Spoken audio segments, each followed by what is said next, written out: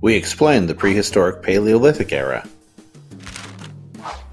Much of the information we have about human life before the creation of written records comes from theories that are designed around the excavation of artifacts and fossils.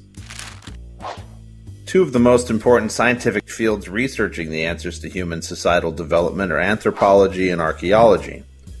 Archaeology studies societal foundations by investigating artifacts like weapons, religious tools, and art. Anthropology studies artifacts combined with fossils to create patterns of the understanding of human societal evolution. By combining the theories and also the artifacts and fossils, we can develop a picture of the world of early humans from their diets, their military structures, their political structures, their economic and family patterns. Because there's no known system of writing, we call this era prehistory. In order to put the era in its chronological context, scientists will use DNA analysis, blood molecule samples, radiocarbon dating, and thermoluminescence. These methods can give us a timeline of up to 200,000 years. Creation myths abound throughout the various faiths and philosophies of the world of how humans came to be. However, the scientific theories put forth by anthropologists, archaeologists, botanists, zoologists, climatologists theorize that human life began in Africa about 3 to 4 million years ago as a hominid known as Australopithecine. Anthropologists Louis and Mary Leakey set out in the 1930s to discover the origin of human history in the Olduvai Gorge in Tanzania. In the gorge, they found tools that were shaped into jagged edges. The use of stone tools for human survival gives us this era its name of Paleolithic Age, or Old Stone Age. It's commonly accepted in the scientific community that the dates of the Old Stone Age range between 2.5 million to 10,000 BC the Leakeys found a set of bones dating back 2 million years ago.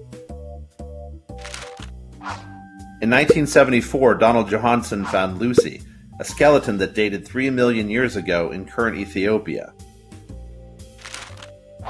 Recently, in 2009, scientists discovered Ardi, a female who lived about 4.4 million years ago in Ethiopia.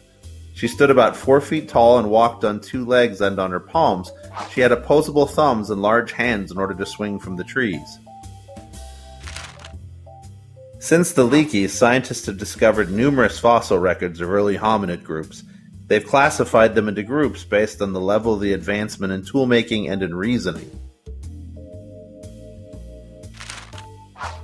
They've been classified into Ardipithecus, which included Ardi, Australopithecines, which included Lucy, and Homo habilis, which existed 2 million years ago and used stone tools for cutting, sawing, and chopping.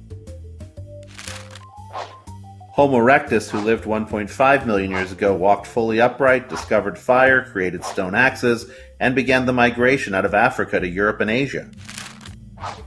And then, about 250,000 years ago, the closest relative to us, Homo sapiens, emerged. It's believed that Homo sapiens developed into two different hominid groups Neanderthals with their large bones and smaller brain cavities, and also questions if they had the ability to speak. The other group was Homo sapiens sapien with speech ability, adaptive technology, and adaptive survival skills. 30,000 years ago, Neanderthals vanished, leaving Homo sapiens sapiens to create civilization.